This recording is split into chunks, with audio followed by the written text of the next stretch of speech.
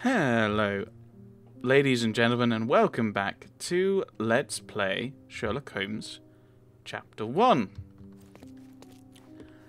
Um, last time, uh, we found a dead artist, and we are currently dressed as said dead artist. Um, and uh, John has requested that we not tell uh, the landlady that he's dead. Um, which I can kind of understand as an idea. Um, and Sherlock Holmes in the books was very happy at times to be not necessarily deceptive, but to not give all the information he had. For example, in Sign of Four, he doesn't give away the that he has an idea of what the boat looks like. Um, so I think we'll probably go along with John because we didn't do one of his things last time about the elephants, and he was slightly sad about that. What's wrong, dear? You look like you've seen the I ghost. thought we were going to go up to you and talk to you. Uh, oh, who entered my flat recently? We won't ask about me. We won't, yeah, we, we we won't tell her. We'll go along with what John said. Can you tell me if anyone else has recently entered the flat? Oh, you're talking about that limping man. I'm sorry I let him in. I was scared. And I thought maybe... Maybe he would motivate you to find money so that you would pay your rent. No offense, dear. Can you describe him? Oh, so you weren't at home. I was so certain you didn't leave your flat that day. He was of average height, had a limp and a tattoo on his neck, and he was smoking Malpal cigarettes. My husband used to smoke those. They have a horrible smell I can recognize from a mile away. Yeah, call the police. Can I ask a favor? Of course, dear. Please call the police and ask them to enter the flat. And don't look inside until they come up. What? What trouble have you stepped in this time? It really doesn't matter. Thank you, Mum. There we go. Oh, new Mind Palace clue. Ah, I'm a perfect gentleman. Thank you. And that's a tuxedo. I have a tuxedo. Right, we'll have a look at the Mind Palace. As you might have a cutscene now with John potentially praising us for that. Or maybe not. uh, and then we'll, we'll have a look at the um, have a look at the Mind Palace. Sherry, that was close. But you did everything correctly. Now, take off your outfit. I can't let you walk around in a dead man's clothes. These aren't a dead man's clothes. These are my clothes. These are my clothes. I bought them with my own money. Boo. Alright. Uh, coal footprints. Oh. What? Okay, that one. Right. Gallery thief was in Mercurio's flat. Yes. Mercurio's murderer and the gallery thief are the same person. Indeed. Hello. Thief, the thief was at Mercurio's flat to steal the photograph, but found Mercurio instead and killed him in self-defense. Seems most likely. And they're not going to be connected. I didn't think so. Drawn has redrawn the photograph of violation that I found at Mercurio's place. In this painting, he depicts a pregnant woman with tribal scars on her face.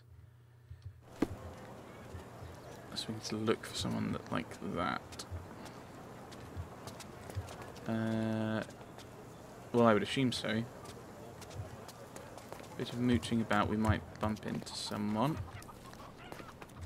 with this kind of clothing. You just popped into existence. Very good. Uh, should I just wander around aimlessly?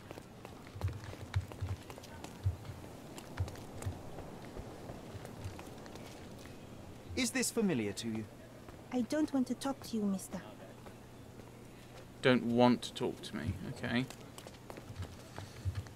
Should I be slightly more clothed in a particular way?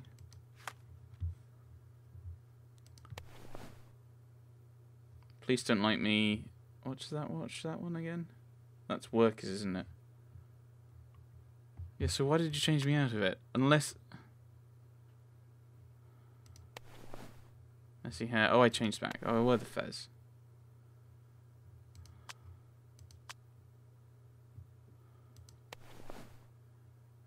Uh, where that beard?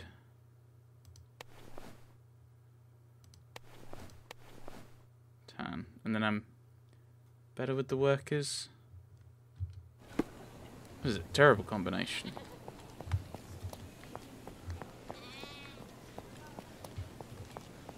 I'm wondering if, yeah, we should be looking for someone who looks like this, or just talking to random people. Is this familiar to you? I like you, friend, but I can't help you. Okay.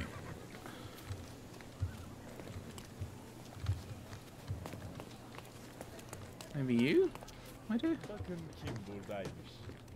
Excuse me, just one question. I cannot, sorry. No. Everyone's looking at us, Sherry. You sure you know what you're doing? I really don't like the fact that it kind of goes, "Oh, you, you you're looking for, at these people, but you're talking to people, but because you're not talking to the right people, I'm going to complain." And it's like, well, in some cases it's because I don't know who I'm meant to be looking for, and in some cases it's because I can't find the people I'm looking for that I want to pick. So I'm I'm picking. I'm talking to other people on the way. No, she doesn't have her face covered. You, maybe? Help me, please. Of course.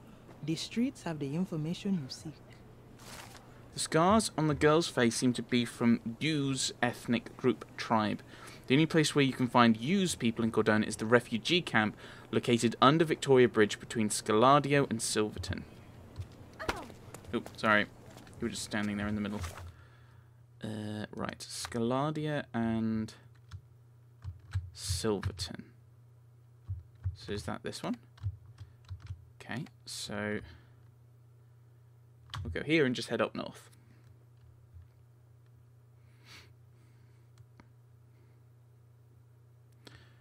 Uh, game saves automatically, but don't forget to make saves your own. It's like I did, and then I end up in a different place. Oh, I wonder if it's just saving the autosave rather than the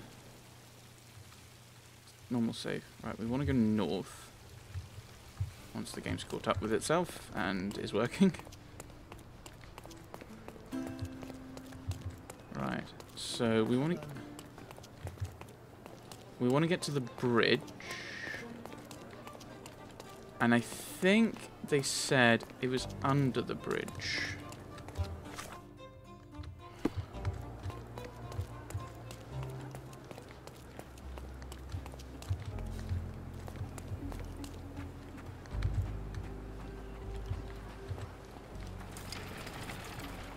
Hello. May I ask you something? I have no idea. I'm sorry. Okay.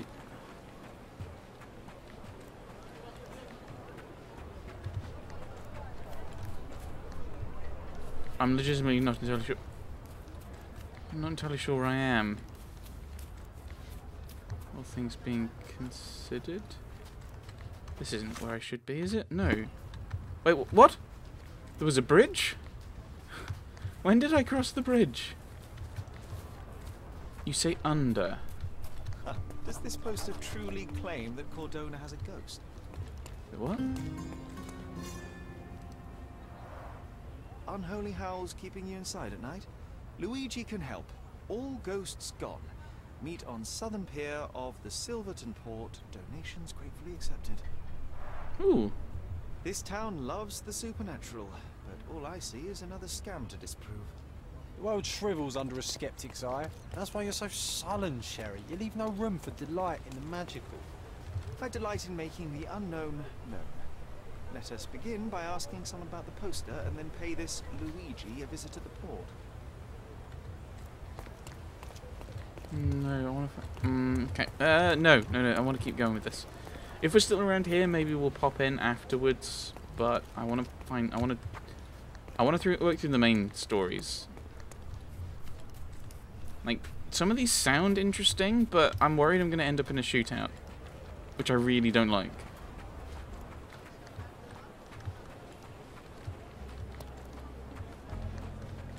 Ah. So I need to work my way down then.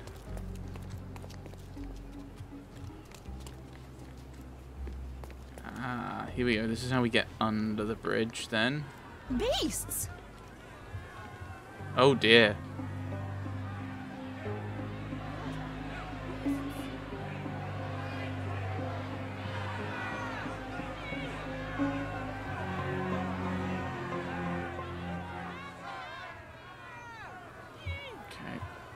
Right, I'm gonna have... Well, we'll go and have a chat with him. Murderers! They're completely livid. First they come to our land, then they murder our people. Sir, this place is off limits to the public. Please state your business or leave, or I shall request that the police escort you out. Private investigator. My name is Sherlock Holmes. I'm a private investigator. I'm looking for a witness for a case. A private investigator? Really? Even so, you're not authorized. I can't let you in. And you are? I'm Ronald Harlow, here to handle the refugee situation on behalf of City Hall. I'm the acting supervisor here, so I have full authority here to ask you to leave, or I shall order the police to detain you for trying to pass the blockade. Please, step back. Oh, we're observing him now, eh? Tries to appear older. Wants to look authoritative. Sweating, he's stressed. But he's sedentary. So this isn't where he'd normally be.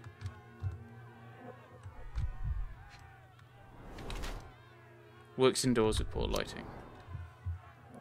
Dazed formalist. I have no idea what that means. Uh, Ronald Harlow is a young clerk who tries his best to oversee a refugee camp assigned to him by City Hall. He's not very happy with such responsibility. He always does things by the book, executes all tasks he's given. However, he lacks the experience to deal with problems outside his writing desk.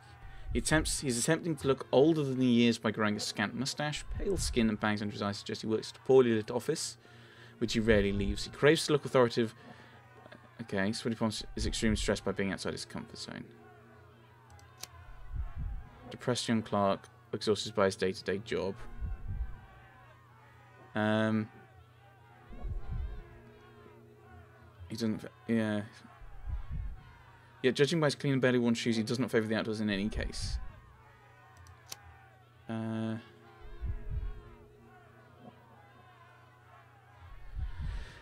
like this is the thing is it's basically going oh here are the here are two bits of here are, here is the set of ev the evidence we've we've got so hmm and it's like here's a set of evidence and here's two different things that kind of use the way them in different oh how- how does this do the so but why does he want to look older and this doesn't really talk about the th- feather um, I think it's the dazed formalist. That's the one I'm going to go with.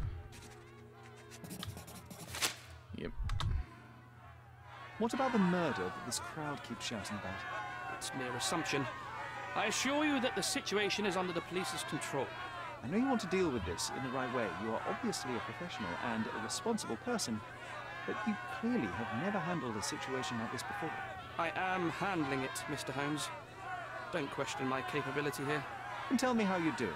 You can't even calm this gathered crowd, and as for the police, they're not quite managing it either, are they? You consider yourself a problem solver, but until today, you've been solving problems sitting at your desk in a dark corner of a city hall room.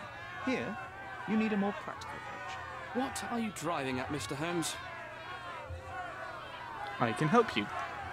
I can help you to handle the situation if you're truly interested in solving things quickly and quietly. And how exactly would you manage that? Simply tell the police that I'm with City Hall and I'm permitted to investigate the scene. I'll work out the rest, but in return, I need your help finding my witness.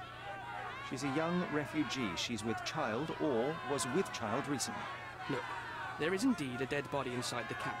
So even if the girl you are looking for is there, all the refugees are now being detained and interrogated by the police. They won't allow you to speak with her, and I can't do anything about that until the situation settles down. So it's in our mutual interest to settle it. Oh. I suppose that things are bad enough that I ought not shy away from help. All right, Mr. Holmes. I'll tell the police to allow you to come inside. Just tell me when you're ready. Um. Yeah, we- let's ask the questions. How did the refugees get here? Mr. Harlow, how did the refugees end up here exactly? Oh, so you're not from around here yourself? I've been away for some time, but I read the papers. Yes, this whole story has been in the papers for almost a year now. They were smuggled to Cordona on a ship from Africa. Smuggled? Then why didn't you deport them? The smugglers managed to sneak them to shore and hide them inside an abandoned warehouse. When the police raided the warehouse and found the refugees there, the ship was already gone.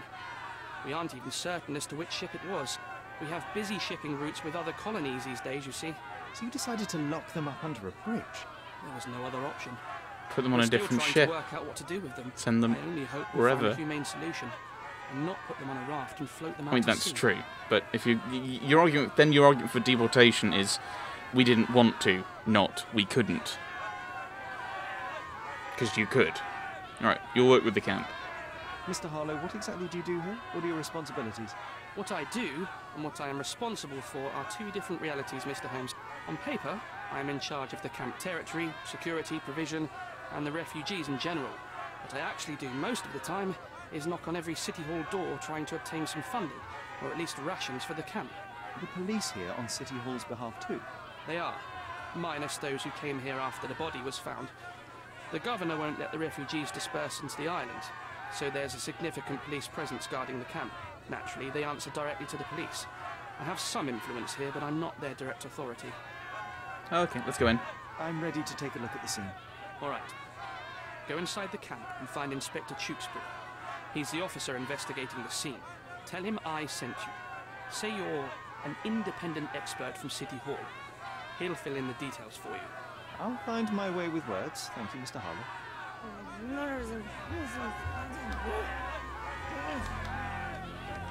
I was looking for other things, but the picture isn't the right place. I assume that's So they keep these refugees under a bridge like proverbial trolls. No wonder the people outside are so disturbed. I assume you're Tewkesbury. Who the hell are you? How did you get in here? Mr. Ronald Harlow let me in, sir. I'm Sherlock Holmes, a surveyor of refugee affairs with City Hall. You're Inspector Tewkesbury, I presume? A surveyor. What does that even mean? In short, I've been sent to conduct an extensive report on the incident for the Colonial Office and to assess all the damage inflicted on state property. Got it. Another paperworm sent to count money and get food for archive mold. Go on, look around, but don't make yourself too at home. As if I didn't have enough problems before you appeared. Could you first tell me what happened here? What happened? People from the bridge above the camp heard a woman screaming and saw a mass of refugees attacking a man. Clearly not a refugee. When the camp guards came by, the man was floating in the sewage canal with a knife in his chest. Bam. A murder. Big news for Cordona. I'm sure. Thank you, Inspector. Uh, any of the victims? And none of the refugees were harmed? One fellow was cut. He's lying over there near their kitchen. He's in a bad way.